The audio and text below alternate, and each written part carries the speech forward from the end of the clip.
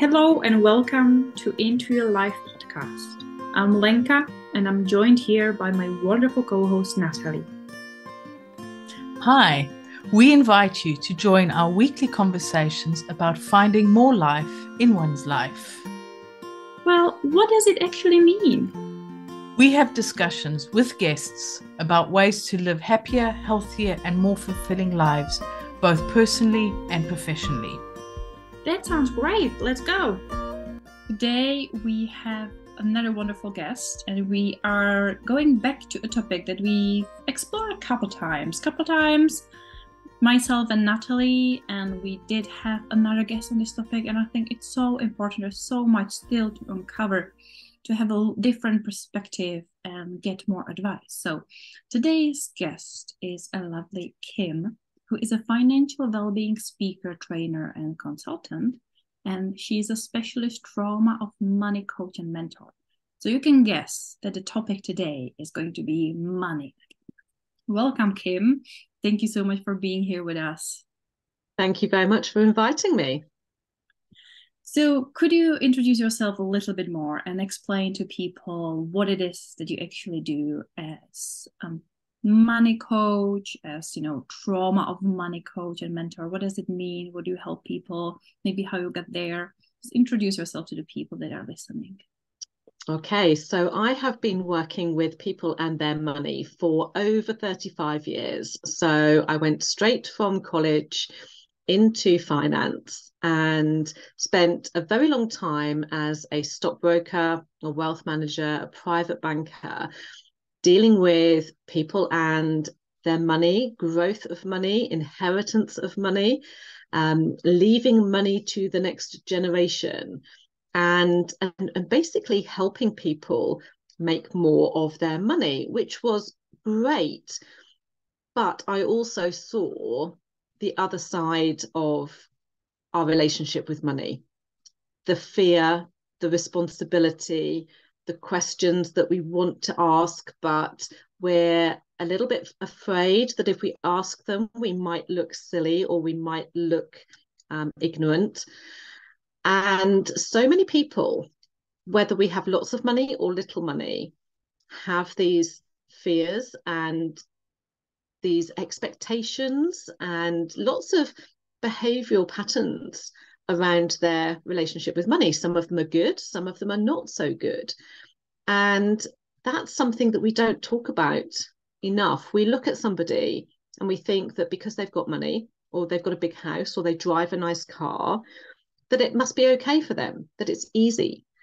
But everybody has different issues with money, different money stories, different backgrounds. And different levels of, of responsibility. And so over the years, I became more and more fascinated with the, the patterns of behavior, the things that people don't talk about, the toxic relationships that some of us have with our money, those habits that we want to break and can't seem to break if we're spending too much or we're giving it all away too quickly. And over the years, although it was great to be able to talk to my clients about those things, I could only ever talk to a few people. So, you know, money affects everybody. We all have it coming in, we all have it going out every day. We worry about it, we want more, we we don't know what to do with it, we don't know how to talk about it. And that affects everybody. And so a couple of years ago, um, I took the bold decision to leave my very lovely corporate career behind and to develop my other passion, which was for coaching, mentoring, and teaching, which I've been doing since about 2005, to say, let's just focus on this and help more people, not just the people who are lucky enough to employ a wealth manager or a private banker, but help more people talk about understand and get confident with their their money. And so i handed back my corporate cards and set up my own business. And now i spend all my time helping other people um, with their with their money whether that's management of it being able to have conversations with their partner or their children about it, whether that is understanding their paperwork, if they get their pension statement through and they just don't understand some of the terminology, but they don't want to ask their accountant because they don't want to look silly. And I help people get that next level of confidence. But along with that, there's a whole deeper side of it. And we often hear about money mindset, our habits and our behaviors that we've heard from our parents and you know the sayings that we had as we were growing up that we still hold on to. Things like you know money doesn't grow on trees or you have to work hard for money or it's money burns a hole in your pocket. There's a lot of sayings that we've adopted over the years that we still live by. But there's also some deeper issues going on and they are traumas the effects of trauma that are not just things we think but they're things we feel. And the things we feel drives our behavior. So if we are afraid of money or if we are carrying an element of shame that's something that we feel in our body. If we're feeling anxious then just saying affirmations is not going to help us feel better we need to work out what is it that's making us anxious. Where in our story where in our past does that come from? And only when we've got that can we then start to work with it and change our approach to money and have that freedom and that healthier relationship with it going forwards. So I can never do this in one sentence. It's always a very long paragraph, but that's essentially my my background and you know why I've chosen to do this because it's just so important that we we talk about it more with more people. Absolutely. I think this is such an important topic to talk about for a lot of the reasons that you mentioned. Obviously, money is such an integral part of our lives. We cannot survive without it, even though often I would like to move to the woods and be the feral woman of living in a cottage surrounded by deer.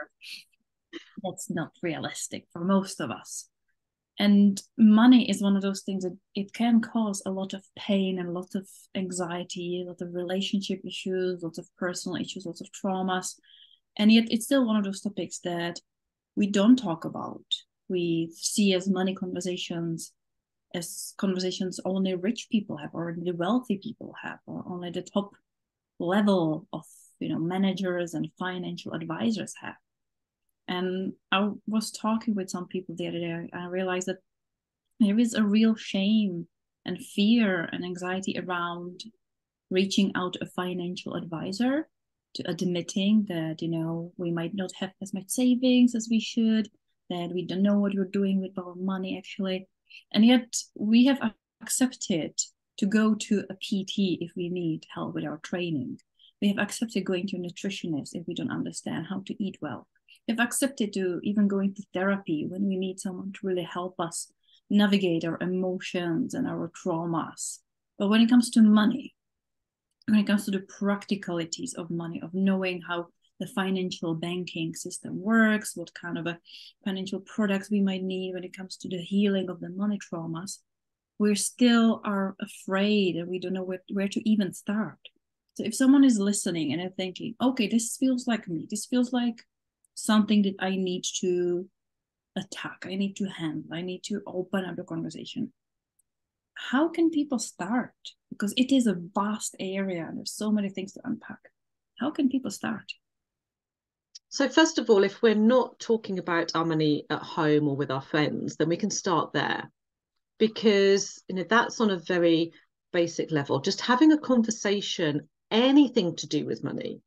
Um, perhaps it's something along the lines of, you know, where would you like to go on holiday if money was no object? Where would you go? What would that mean to you? Would that be a cottage in the in the woods, or would that be, you know, a, a luxury hotel somewhere very glamorous? And and what does that mean to you? Why would that why would that be a goal? What would what would light you up inside about that holiday? And then you can talk about so how would we get that money together? What could we do together? And that's quite a an easy and fun way of opening a, a, conversation about money. It's not talking about money stress. It's not talking about bills or the cost of living. It's actually playing with it a little bit. And once we start, then we can often move the conversation into something a little bit more mundane and and then if we talk about the fact that we don't have savings for our holiday how do we go about getting those savings what do we need to do? Could we look at that together? Could we go online? Have we got a, a banking app on our phone that we could call up while we're here talking about it? And before you know it we've started saving money. So sometimes just opening that conversation in a more relaxed and fun way gets the, the thing started. And that's the most important thing. But of course for many people they're worried about their money and so talking about a lovely holiday doesn't feel as though it's real. You know that's something that is much further down the line. And if we feel that we can't talk about our money worries with our partner or our friends then we need to to take a bigger step. And that can be very daunting even for people who have got a good relationship with money or who have a good level of education or a previous good history with money, it can still be very daunting. And even financial advisors and wealth managers and bankers have money worries as well. And they've got to have the conversation as well. So, you know, it affects everybody. And the thing to do there is to simply take a deep breath and have that conversation. Because with all of these things, they generally build up and build up and build up, and we make them into this big beast, and we are afraid of the beast. But when we have the conversation and we start it off on the phone or in, in the bank or online on, on Zoom or something, the response is generally very positive, And we feel this instant sense of relief that we've started that conversation. And it's not as bad as we think it's going to be. Because the bank and the accountant and the the tax lawyer and the financial advisor they are there to support you and when we have real money worries and we're in a huge amount of debt for example or we're worried about getting ourselves out of a, a situation there are also people who are specially trained to support you with that as well. So it's hard to start the conversation, but once you've started it, it's like going for exercise. That the hardest thing to do is to put your your kit on and and get out of the front door. Once you've done that bit, it's easier. Um, so we just need to start and and don't feel stupid. You know, 70% of people have money worries of some sort at the moment. So that means that all of the financial people are expecting it. They know that over half the people who walk through the door or who pick the phone up are suffering from this. So you're not on your own. You might feel like you are, but you're very definitely not. So if we can just start the conversation at home, great. Let's just get talking about money and talk about anything to do with money. But if we need to go that step further, there's no substitution for just you know, putting our big girls pants on and, and and doing it but knowing that actually it is going to be one of the best conversations you can can have and i think part of the process also has to be working with oneself is to know that to have this type of conversation with family with partner with friends. Yes i can have a conversation and complain and matter but to approach it in a healthy productive, meaningful way, I also need to get probably more aware of what might be my own limiting beliefs, what might be my own money mindset is holding me back, what might be my fears. That is it the fear of judgment? Is it the fear of failure? What is it? And is there something? How would you help people? How would you guide people to look inwards? Because we touched on the fact that the things that we have inside of us, the stories that we have, that they will be often deeply rooted from childhood, from generation, from systemic inequality potentially. And mm-hmm. we there's something we can do externally, which is talk to people. But I'm sure there's something that we can do internally to help ourselves as well.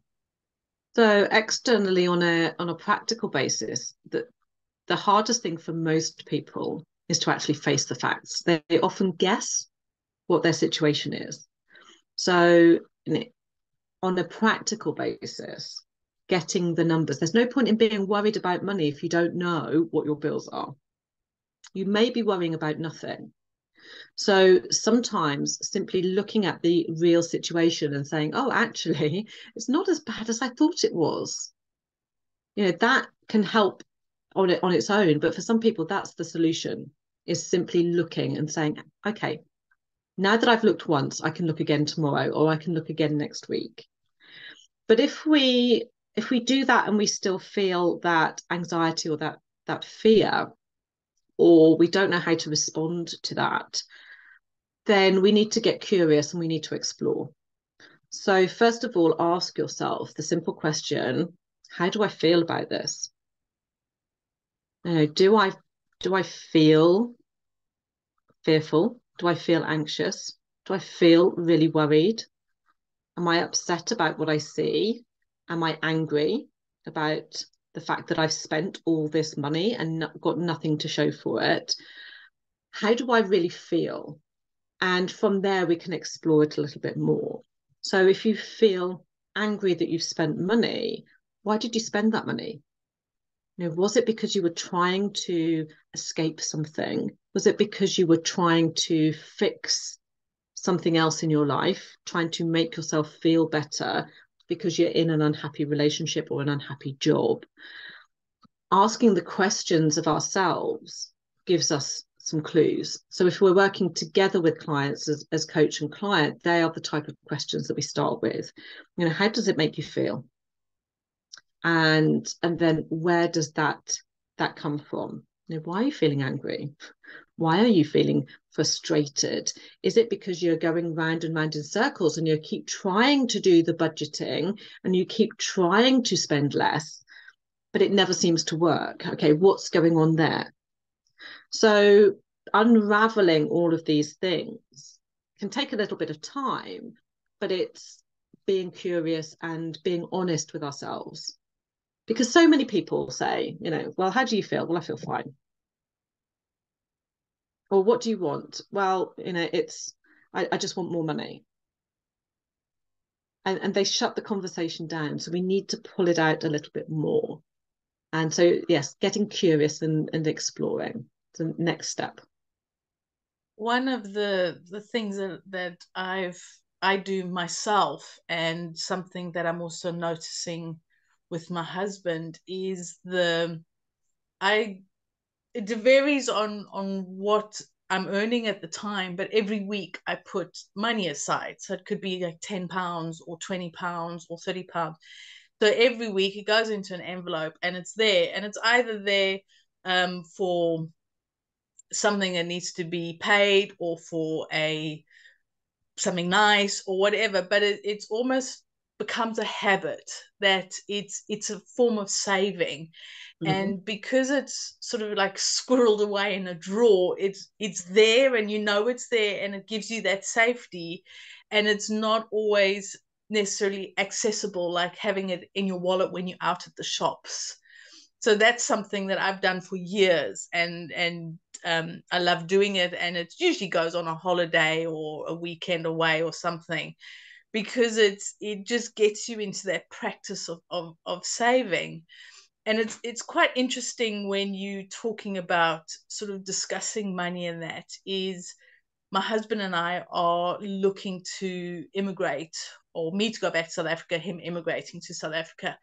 And it does require a lot of conversations because we've got to work together at this. You know, what money do we need for him to get his you know residential permit? What does he need to be having coming in monthly? What what do we need to move? What do we need you know the, the real logistics what and it even down to what books we're keeping what's shipping over. But it's still part of that conversation because my husband's quite what's in the bank it goes onto bills. And he does struggle with looking ahead. And i say well if we put aside 10 pounds a month 20 pounds a week or, or whatever it is that will accumulate. But it's it's it's that struggle to see the bigger picture. It's the money's there i need to pay this and this and why would i put it aside? And it's it's it's almost like there's there's something missing with putting money aside for a future date for something that's intangible at the moment because it's an idea that we want to move to South Africa. It's not a concrete thing. So it's like, yes, but I could need the money for this instead. And and this is something that I'm coming up with is this almost this missing piece of the puzzle. This I know I, I we're doing this, we've got this goal in mind. I know I need money for it, but I don't quite know how to put that money in place. Is that something that you find on on you know when you're working with people? There, there's almost this this missing, I don't know, puzzle piece or something. Does that and, make sense? Remember at the beginning I said about opening the conversation by saying where would we go on holiday? because that's exactly if we can get used to doing that sort of thing that's not tangible right now. That's saying at some point in the future i want to climb machu picchu. Or at some point in the future in five years time i want to go to niagara falls. And so when we start to do that as as part of our everyday conversation then having that more realistic goal we want to go to south africa. Okay what does that look like for us? Why do we want to go to South Africa? You know, what would that mean to us? Now, because you are from South Africa and your husband isn't, it will mean different things to each of you. So you have to open that conversation, first of all, about what going to South Africa looks like and feels like and means to each of you and to have those discussions before the money side of things. Because it may be that for you, it's really obvious that that's what you need to do. And so saving for it is easy because you've got that tangible you've you've seen it you've lived it you know it. But for him it might be a little bit unknown a bit scary. He's got to leave things and people behind to go somewhere new. And and so there's that conversation around the actual you know event why we're doing it, why we want to work towards it. And then when you're comfortable with that, you can say, okay, so how are we going to get there? What do we need to do to get there? We have to prove that we have this much money behind us, or we need to, to fund these airfares, or it's going to cost us this much money to put our stuff in storage. So you can then start working out the tangible elements of it. So those figures will change because the airfare today will not be the same as the airfare when you go, but you've got a good idea. And so you can start to create these little visionary elements of it that form part of that bigger picture, knowing that the bigger picture is now comfortable for both of you. So it's that conversation that needs to just continue in order to say, you know what what are we going to do with this money this month? Are we going to spend it on something today or are we going to put it into the airfare fund? Or are we going to put it into the the storage fund or the capital adequacy fund to prove our our net worth? Knowing what you want at the end of it will help you then make those decisions on a day-to-day basis. You can also have two pots of money. So you have your envelopes and you can have one envelope that is for South Africa and one envelope that is for anything else that might crop up so that you don't feel that everything is going towards South Africa, that you still have choices today and you can still go and have a bit of cake or coffee or a nice lunch because you've already put some money into the South Africa fund. So sometimes we feel as if our focus is only on one thing. It doesn't give us any permission, any leeway to do anything else. And that can be great if it's your passion. I really want to go home to South Africa. It's home for me. And it might be very terrifying for somebody else, but they don't want to say that because they don't want to, to upset you. But if you can then say, but that's okay because you can still do this now. We can still have this today we can still go on a long weekend in the UK and just enjoy a bit of time. We will still get to South Africa because we have another pot for that. So, being very respectful that different people have different reasons to want something. And this is where we go back to the money stories is that we have, we all have these different bases from which we start. Different cultures, different countries in this case, different generations, you know, different classes. A hundred years ago, we would have stayed very much within the community, the class that we were born into. Because now we can go anywhere. And that means that we've got to open up the conversation in order to be able to respect and understand somebody else's set of money stories so that we can help them work on the things that they need, the things that they're afraid of, so that we can all have the best experience with our money going forwards. This is such a interesting conversation, and it really nicely touches on one of the books I've been reading, which is about sales. But there was this fascinating study that people did was around why we're not saving up for pension more. And actually, in these studies, they found that we really see ourselves now and ourselves in the future as two different people. We don't connect those two images.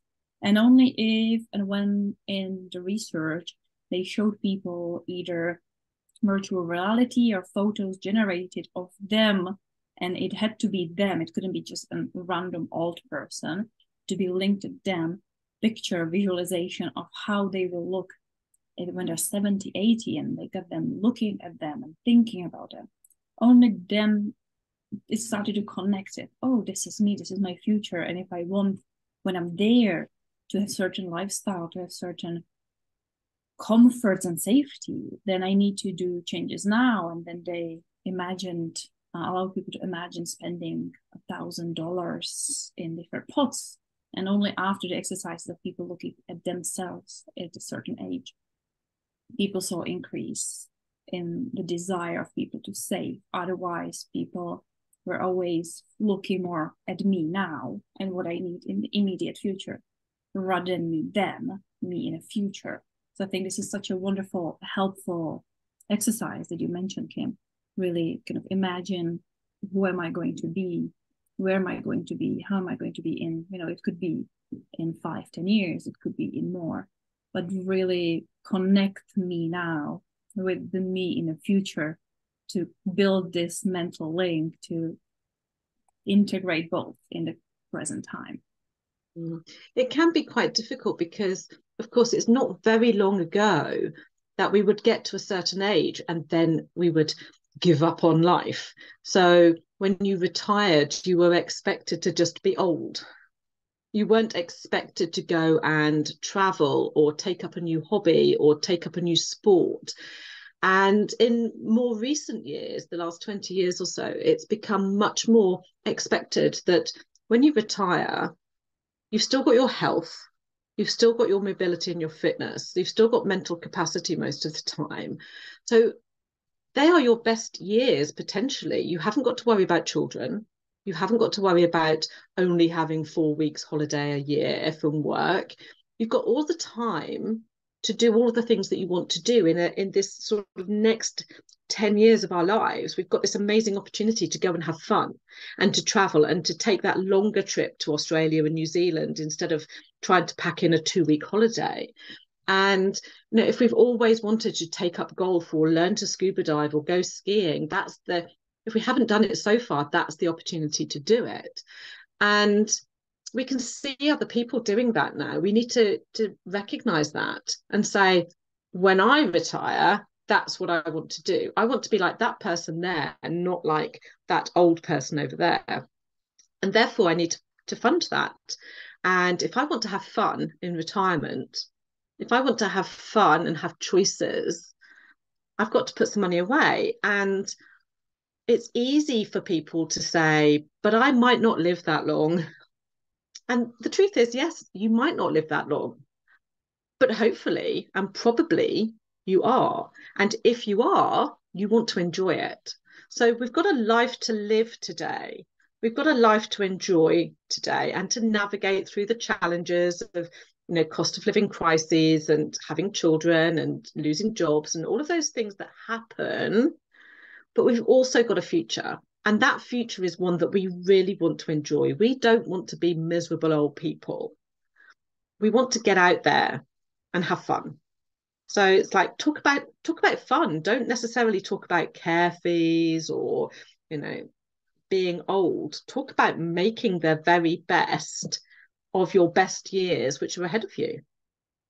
And I think that that's what it's what it is about. It's it's wanting to create something, whether it's in our case potentially moving back to South Africa, or whether it's going scuba diving once you retire, or what it is. It it's planning for the life that you want as opposed to just thinking about surviving the hmm. rest mm. of your life and it's it's about putting things in place or putting finding a way that works for you and as as i mentioned earlier envelopes work work nicely for me is just putting it in and then you can have different bank accounts for them.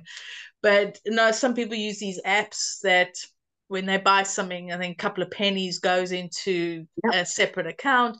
So it's it's finding something that works but i think also is like you mentioned it's the communicating but it's finding the right way to communicate. So as you mentioned earlier it's it's about helping my husband to understand about the money to move the funny thing is it was actually his idea to move to south africa not mine he loves it there but the the money concept is is almost too big for him. But again, he is from that generation where is what you had is went on bills and everything else. They didn't necessarily he wasn't brought up with the idea of saving and investing or putting money aside for things. You just had money and put it maybe for a car or something, but not for this fun stuff, as you mentioned. And I think it it is about, as you said, starting from the beginning is communicating, is having the conversations,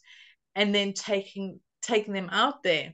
I mean, at the moment, there's so many people like yourself who will help to help guide what do we do? How can we do it? Do we need to have a load of envelopes in the house or do we have a lot of little bank account?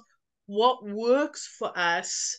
How can we do this as individuals but maybe also as as a couple or even as a family? And this is something is as kids you're not taught to save. You're not taught about money is yes you get pocket money you go spend it on sweeties. Well i did anyway. And and not taught about you know can we invest the money or do we put money aside for that nice outfit that we want or what happens when we get late teens or early 20s and we're starting to work? What do we do then? And how do we invest?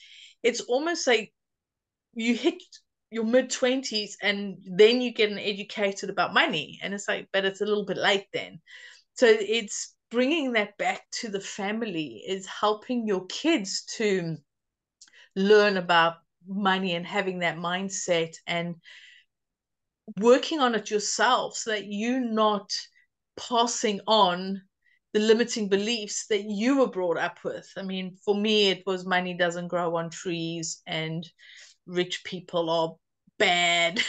if you got money, you're a bad person type of thing. And not passing on these beliefs to your kids, but helping your kids to find a way to to save money. It doesn't mean just saving it so that you never use it or it's there for when you're 60. I mean, as 13 year old, you can't imagine being 60 and retiring, but just learning to save for that CD that you want or that outfit that you want or to go on a, a day trip with your friends or something. It's just fine learning how wonderful money can be because money isn't an evil thing it's it's something that can create a lot of opportunities and a lot of different things so it's almost like we've got to go back to the the family to the kids helping the kids educate the, the children to have a good relationship with money whether it, you've got it or you haven't got it learning about it and not having this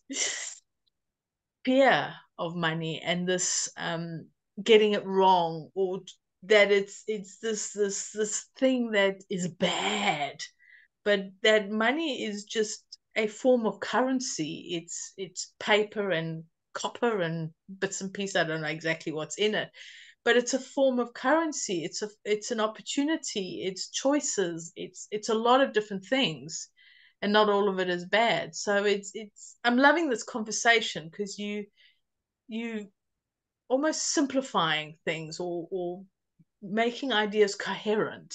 So thank you for that. It's it's You're welcome. But that's what we need to do. We need to just talk about it in, in very simple, over the dinner table ways. So, so money is a, an, an an enabler. The more we have, the more that we can do, the more that we can support other people, the more that we can give to our favorite charities, the more that we can employ people if we have a business. So it's not a bad thing. It's an enabler. We can do more if we have more money. But that doesn't mean that it makes us a, a bad person. You know there can there are some very bad rich people but there are some very bad poor people and there are some very good rich people and some very good poor people. So having those conversations with our children you know when we were young there were role models on the television or, or characters on the television or in films that were very stereotypical. You know the the rich person was always very portly and very you know looked very greedy and often had that air of arrogance about them. And then the poor hard-working person was very disheveled and you know quite wiry and, and and sort of very humble. And there was it was sort of portrayed that that was how it was supposed to be.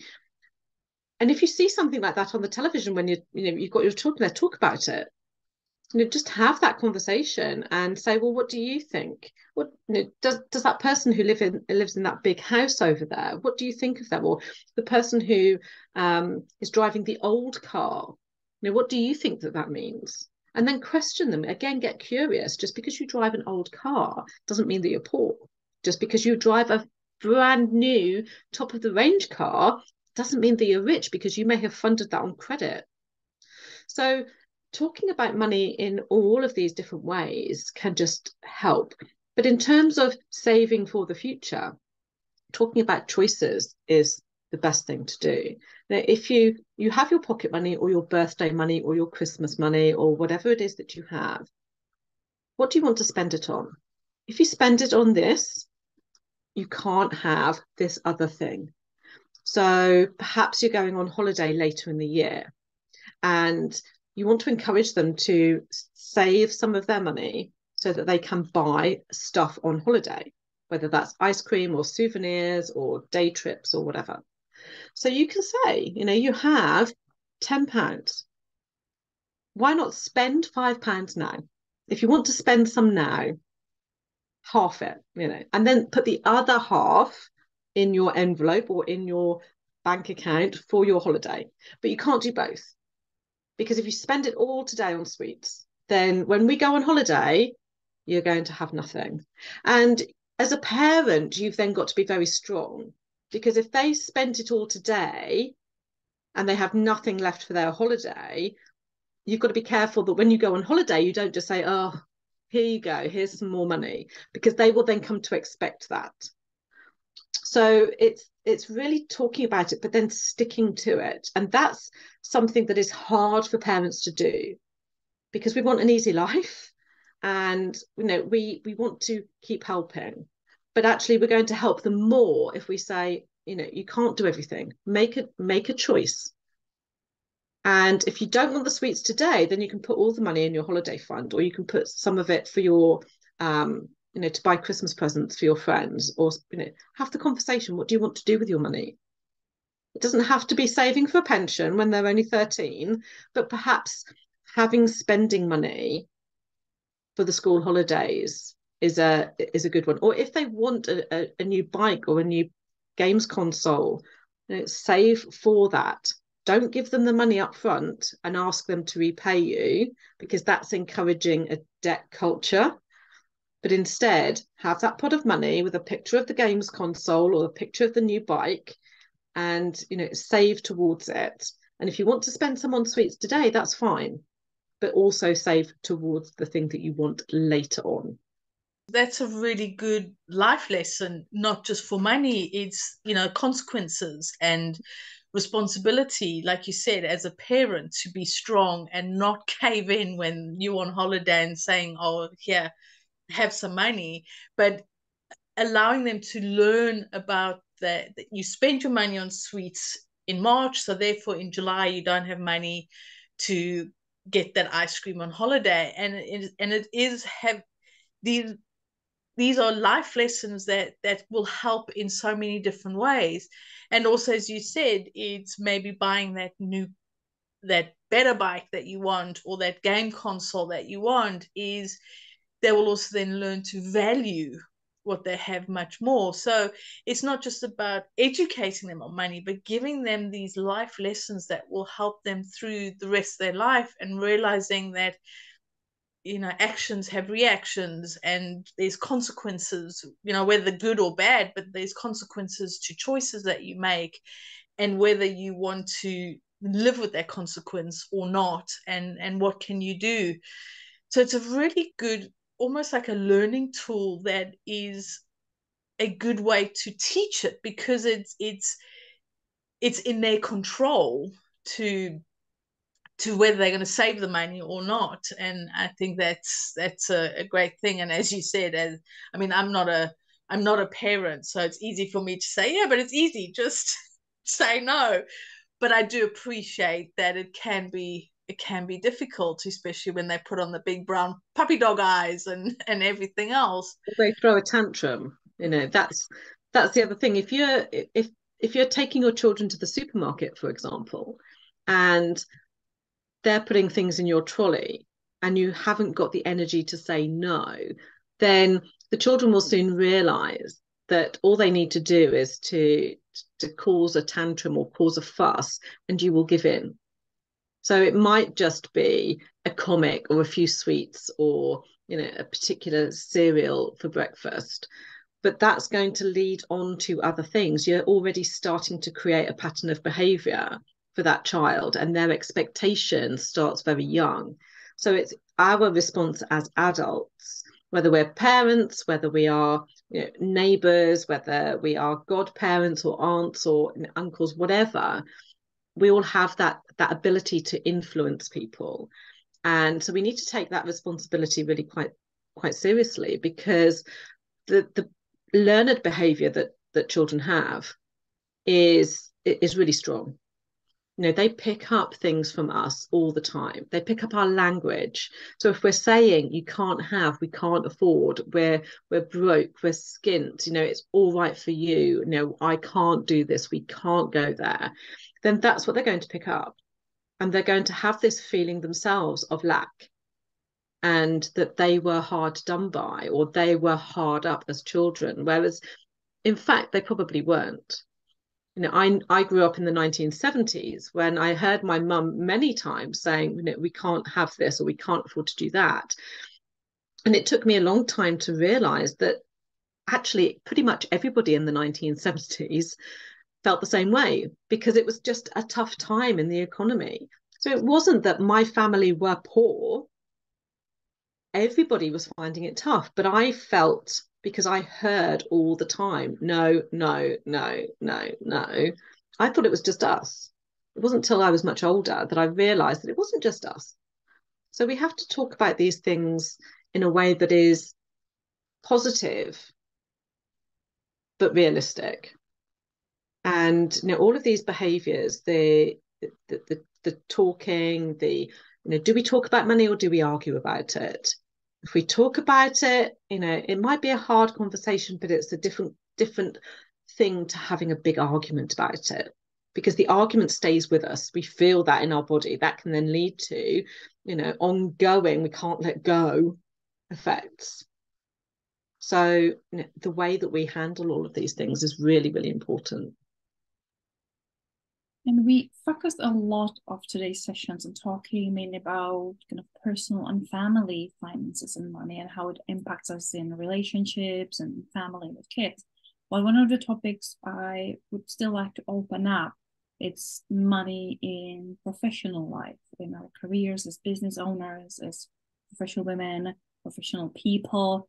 but especially women, because I know that you're very passionate about the connection between obviously money and gender inequality, especially then going and looking at women going through perimenopause and menopause and the cost of it.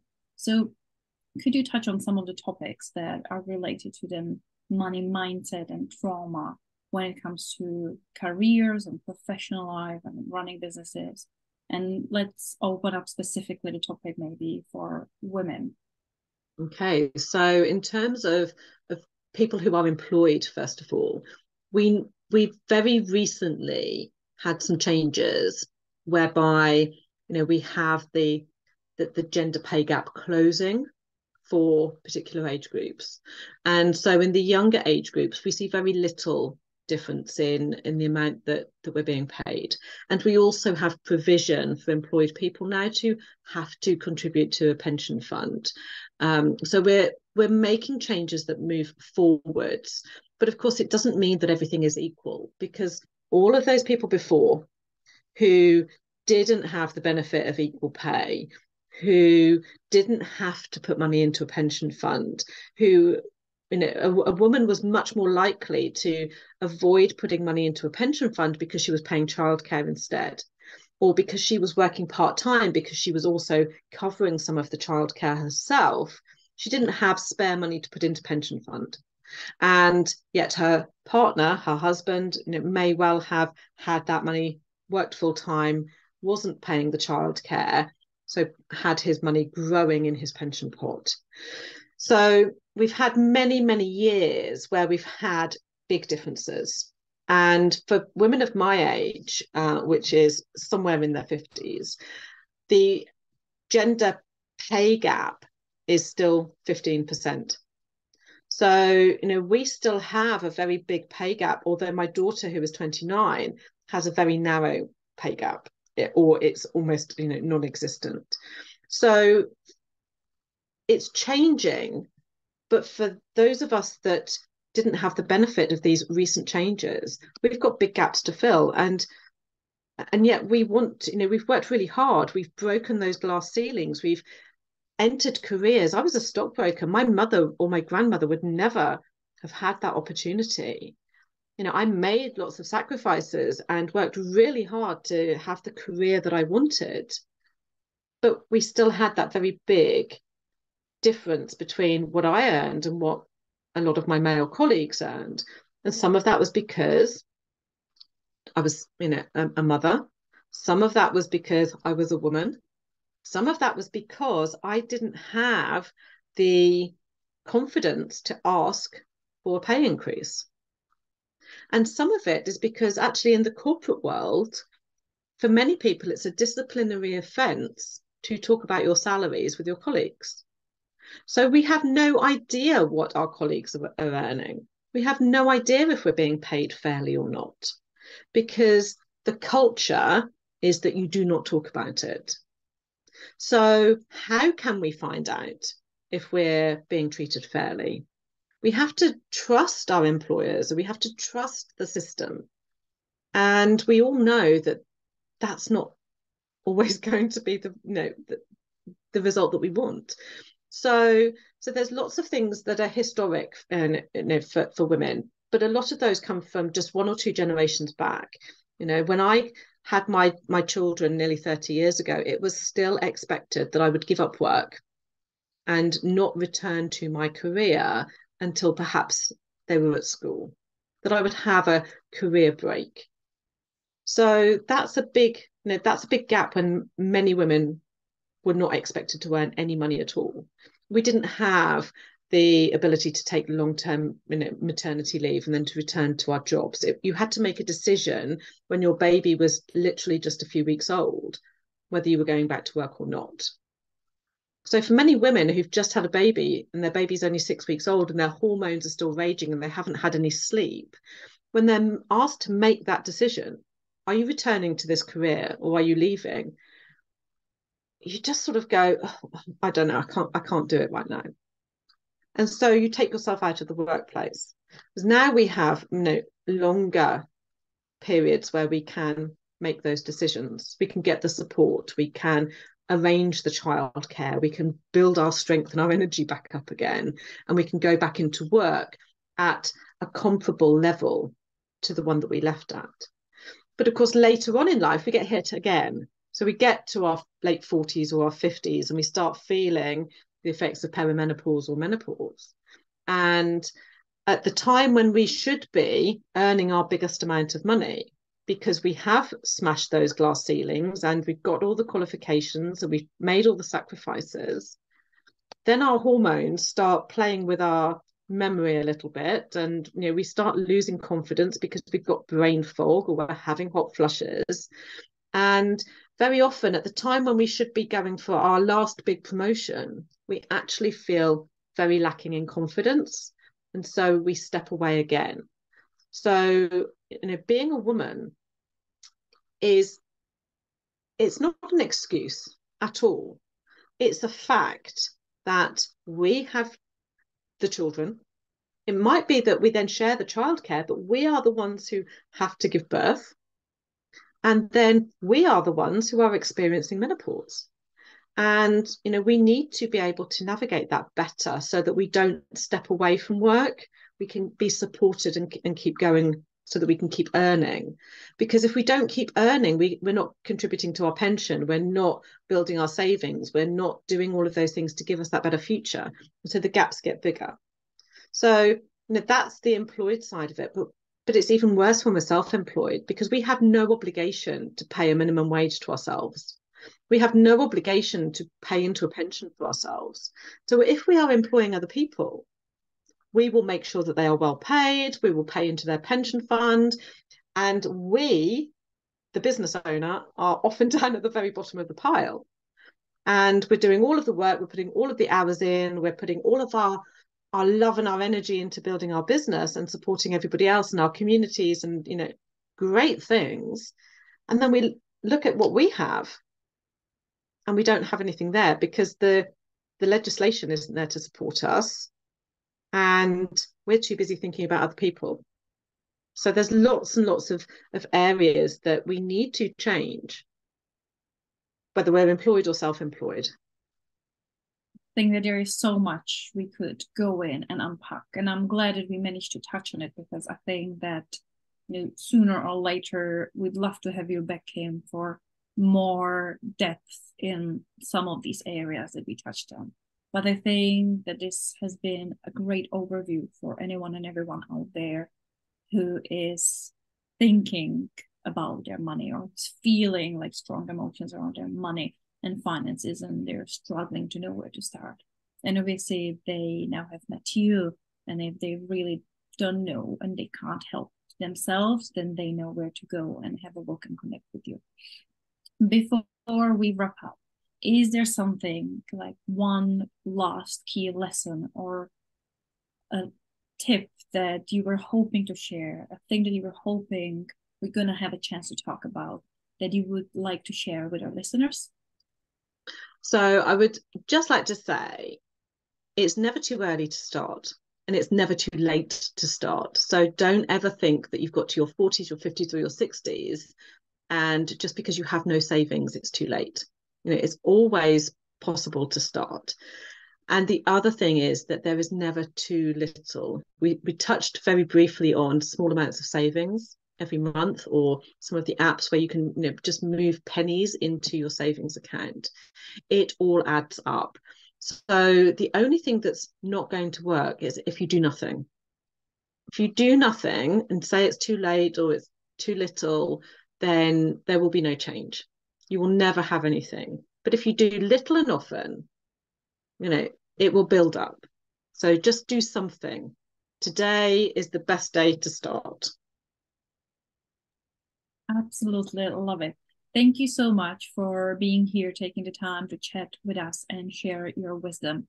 If someone wants to follow up and find out more about you and learn more from you, where is the best place for them to find you online?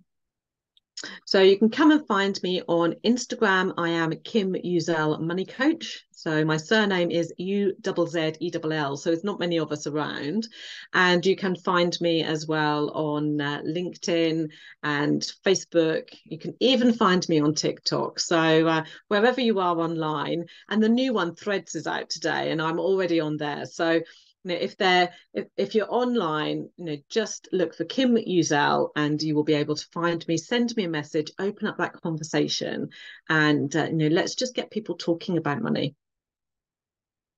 Perfect. Thank you so much for being here. Thank you so much, listeners, for staying with us through this maybe not so sexy topic, but a very important topic. And if you have any questions, are there any specific topic within this arena that you would like to learn more about and hear more about, then please do let us know. Uh, find us on social media and drop us a comment. And for that, that's enough for today, and we'll speak with you soon. If you enjoyed listening to our conversation, please share it with your friends and colleagues, and don't forget to subscribe. We would love it if you could give us a five star rating and write a short review.